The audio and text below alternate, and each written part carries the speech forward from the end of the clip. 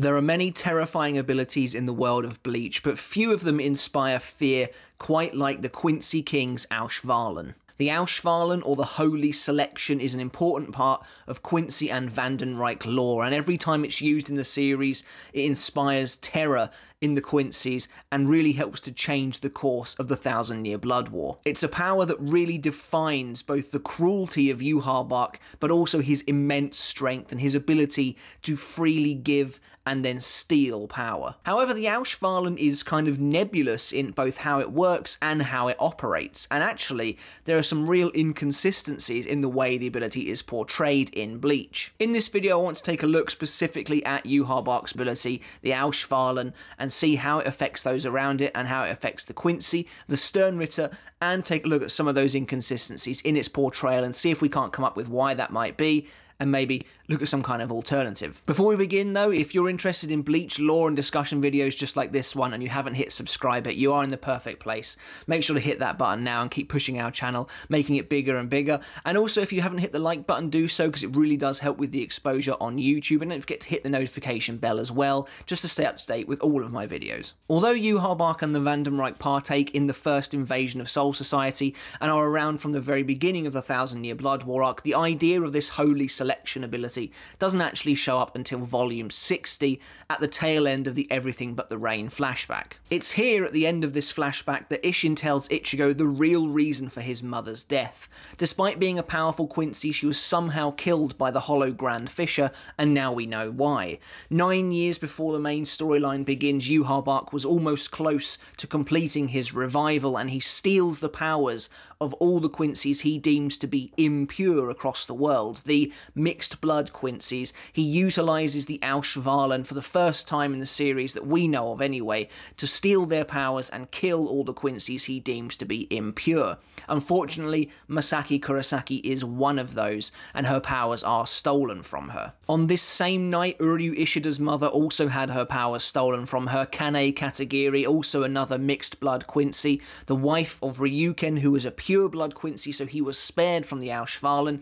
Yhwach robbed Katagiri and Masaki of their powers, along with every other impure Quincy in the world, the only one who survived being Uryu Ishida. Yhwach wouldn't use the feared Auswählen ability until much later on in the Thousand Year Blood War arc, when he uses it to steal the powers of the Sternritters he has deemed unnecessary and help revive his elite guard, the Schutzstaffel, after they've all just been killed by the Zero Division.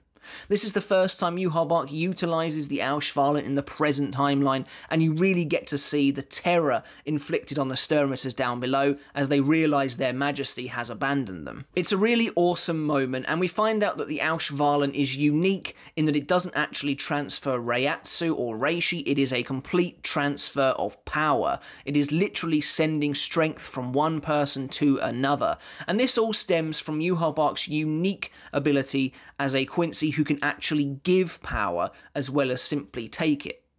All Quincy's are able to take power from their surroundings, take Reishi, and dominate it at their will. But Yhwach has the unique ability to actually give out parcels of his power as he pleases. And this is actually really interesting, and I honestly cannot wait to do an analysis on this character because I think he's really, really fascinating. In many ways, he feels like the devil of the Bleach universe. So many people make deals with Yhwach unknowingly, essentially. Their lives are going to be cut short because he has this new hold over them. It's actually revealed in his flashback, you find out when he was a little baby, many people almost saw him as this miracle child because they could go to him, they would touch him, and a part of them would be healed if they were ill or injured or something like that unknowingly to them, what was actually happening was Yhwach was giving them a portion of his soul, and that was giving them what they needed. But when they would die, that soul would return to Yhwach and make him even stronger. And those people who actually got healed by him, their lives were cut drastically short.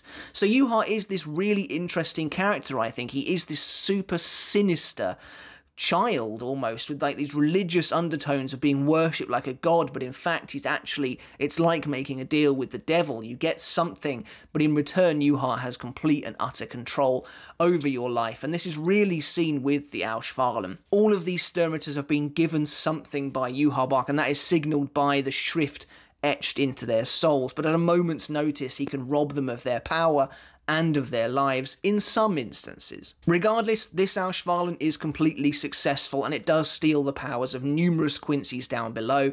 Bazz-B, NaNaNa Najahkoop, Lil Toto, Giselle, Robert Accutrone, all these characters, and the elite force, the Schutzstaffel, are resurrected, more powerful than ever before. The Auswählen is used one final time right at the end of the series, and this one is a little bit strange. I'm not entirely sure what it's actually accomplishing here. But basically, Yhwach has defeated Ichigo at the top of Wahrwelt, and he is ready to travel to Soul Society and begin destroying all three worlds to create something brand new. Before he leaves, he decides to use the Auswählen on his remaining Sternritters, claiming he has no need for them anymore.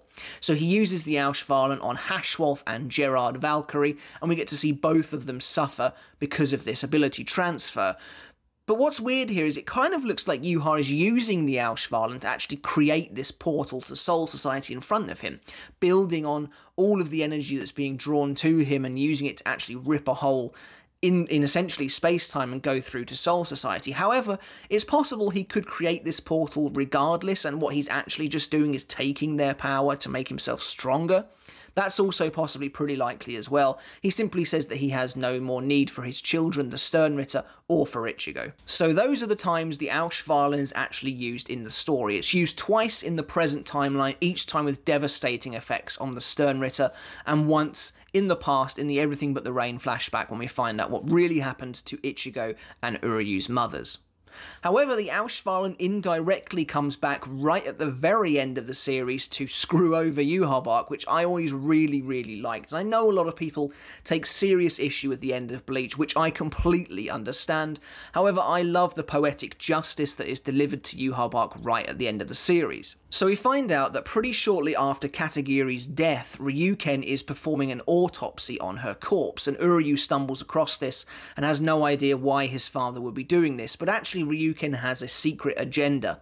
When Auswählen is performed on a Quincy, it creates a blood clot in their heart which eventually kills them regardless, and that blood clot is made of something called still silver. Ryuken takes that silver out of his wife's body and uses it to form an arrowhead, which will eventually be aimed at Yhwach himself. And it is. Uryu fires the still silver arrow at Yhwach right at the very end of the series, and when it pierces him, you see it flowing through his veins, robbing him of his powers for just a moment, just long enough for Ichigo to deliver the final blow on someone who is effectively a regular human at this point. But it's really awesome seeing the agony on Yu Yhwach's face as he experiences that terror that he has been partitioning out among his so-called children for so many years. As far as he's concerned, they all simply live for him. And this is a mindset he has gained over the years by being revered as a god, but in reality, he just thinks all these people actually live for him. He might be helping them in the short term, but in the long term, they are all going to die early and their powers will return to him and make him stronger, make him live longer. And that's why I think he is a fascinating character that I wish Kubo had actually gone into a bit more detail on because it really is making a deal with the devil in that sense, in many ways that you have no choice in. However, Yhwach does lose his powers here for just long enough for Ichigo to finish him off, and it's really poetic that a still silver arrow made of the clot that killed Uryu's mother is what helps finish Yhwach off. So, for the issues I have with the end of the series, genuinely, the still silver arrow is not really one of them. I think it's maybe not executed perfectly, but I love the meaning and the message behind it. So that's all the instances of Auswählen in the series, but how does this thing actually work, and what are the inconsistencies that I mentioned earlier? Well, all we really know is that Yhwach has the innate ability to take and give power almost totally freely. He can do so at will. He even mentions against Ichibei that all things in this world exist for his taking, and he is able to simply take power, restore his own power even after it's been taken away from him, and he even tries to steal Ichibei's powers at one point in the fight. The Auswählen, or the Holy Selection, is simply the ultimate version of this. Can steal all of the powers of the Quincy he deems impure or unessential, unnecessary. He can take them all and use it to power himself up or then partition it out among Quincy that he does deem to be necessary. But the Auswählen's effects on the victims are strangely varied, and in many ways they don't seem to have any kind of consistency whatsoever, even as much as on the same page. To find out more, we need to look at the victims of the Auswählen. So let's begin with the original victims, Masaki Kurosaki and Kanae Katagiri. Masaki Kurosaki has her powers stolen from her in a single instant, and I believe this renders her completely unable to use any Quincy abilities whatsoever. Now, it's not actually confirmed or explained, but the fact that Grand Fisher is then able to finish her off with no difficulty whatsoever implies to me that she essentially becomes a normal human. But it's pretty clear that her flesh is not stripped from her bones, she does just become powerless. Katagiri is slightly different, but there is an explanation given to this one. She actually falls into a coma and dies a few months later, but it is revealed that she was sickly beforehand anyway, so the Auswählen was essentially just speeding up a process that was already probably going to kill her. So in some ways, these two actually all work out absolutely fine. They are consistent with what we know of Auswählen. The real weirdness starts to happen during the Thousand Year Blood War arc, during the second invasion, when Yhwach decides to resurrect the Schutzstaffel. Now, we see numerous Quincy actually hit by the Auswählen point blank, and each of them seem to have a different thing happen to them. The first one, and the one that is a true example, is Robert Accutrone, who has his flesh ripped from his bones the moment Auswählen hits him. Now, when this originally happened, I tried to rationalise it as Robert is clearly one of the oldest Sternritter, he's probably weaker, physically at least anyway, and therefore the, the Auswählen was able to rob him of his life force much easier than it could a regular Sternritter.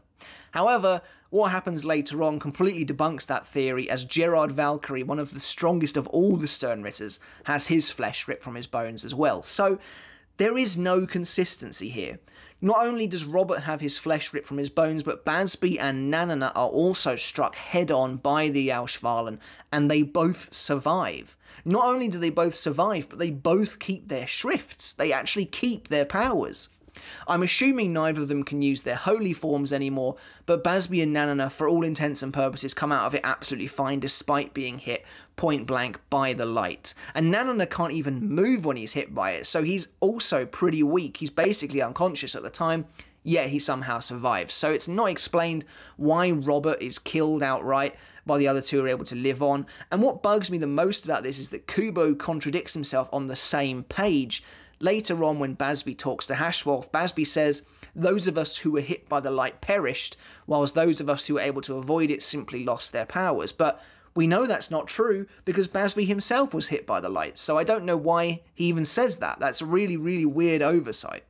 Lil Toto and Giselle manage to avoid the beams of light, but their Vollständigs are still stolen from them all the same. And this is, again, I'm absolutely fine with, and I wish Kubo had just gone this route with Bazz-B and Nanana. Maybe he could have made those two also somehow avoid the light, or even just kill Nanana off. Like, have him and Robert both be struck directly by the light. They're both killed outright whereas Bazz-B, Lil Toto, and Giselle managed to avoid it and therefore just lose their holy forms. That would have made more sense. But consistency is thrown out of the window by the time we get to the final Auswählen, and we only see two victims, this time being Yhwach's right hand man himself, Haschwalth, and also Sternritter M, Gerard Valkyrie. And they're just, again, two completely different ends of the scale. Gerard Valkyrie is supposed to be like basically the most powerful of all the Quincy. He is ridiculously strong. He basically can't be killed. But Yhwach's Auswählen strips him down to the bone instantly, murdering him on the spot. Haschwalth is hit by the same beam and doesn't doesn't die immediately. He holds on for a little bit longer. Even then, it's different to how it is with Bazz-B and Nanana. Neither of them seem to be in a particularly bad way, with Bazz-B even being able to fight Haschwalth later on. But Haschwalth here, the moment he is hit by the Auswählen, he collapses on the floor, unable to move and barely able to talk. It is a little bit disappointing that the Auswählen seems to be so inconsistent that I'm not even sure what Kubo was really going for with this ability. There are at least four different outcomes, apparently. Either you will be stripped down to the bone and immediately killed, you'll either be robbed of your powers, but it doesn't seem like anything too bad is going to happen to you, apart from obviously Masaki was in a bad situation to begin with. You'll either have your holy form stolen from you if you're not hit by the light, or if you are hit by the light, you won't be killed outright, but you will still be able to use your Schrift, and I assume you can't use your Vollständig because it's not explained, but or you'll or you'll be like Ashwolf and you'll just collapse to the ground. So it's it's really really weird that the Auswählen is so weird. Uh, I think it's a really cool ability conceptually. It quite literally puts the fear of God into the Sternritters. And again, I, I love the way that Yhwach is supposed to be this all father. He proclaims them to be his children. You know, he calls them my son and stuff like that. But then he'll just kill them at the blink of an eye because he needs their powers. And supposedly, they should be willing to die for their comrades because they are comrades. I love that. Unfortunately, it just doesn't explain the inconsistencies. And like I said, some of them are so blatant that I'm kind of surprised Kubo really didn't even notice this. The fact that Bazz-B actually says those of us who were hit by the light died and yet he was hit by the light, is, that's really, really weird. And you get that panel of Robert kneeling on the ground looking up to the sky, now a skeleton, which, by the way, again is fantastic visual imagery. Um, but Haschwalth says that those of them who were deemed unnecessary died, and their power was given to them who aren't necessary. But Robert was the only one who died. So again, it's really, really weird. But I do like the ability in concept. And it is actually quite simple. It is just Yhwach's power sharing abilities dialed up to the max, essentially. Him taking power and lives with it and then distributing it back out again as he sees fit. And that's pretty much it for this video on the Auswählen. I hope it did clear anything up for you if you weren't quite sure about how the Holy Selection ability actually worked. I really don't know uh, what to say about the inconsistencies other than they are there, and I don't know how they're so blatant without Kubo realizing them. But if I was to do it differently, I would probably have just had Bazz-B escape the light, whereas Nanana and Robert both die. It's a little bit more difficult with the Haschwalth and Gerard situation because I appreciate that Kubo needed Gerard to die like that. And so he, the Auswählen makes sense because we have seen it kill people like that in, in the past, but there's no reasoning for why Gerard and Robert would suffer the same fate, but Haschwalth wouldn't. Either way, it's a cool power, and it does make Yhwach really feel like a godly being. But I hope you enjoyed this video, guys. Like I said, if you haven't hit the button already, make sure to subscribe now. I would really, really appreciate the support. But until next time, guys, I should catch you later. I'll see you then.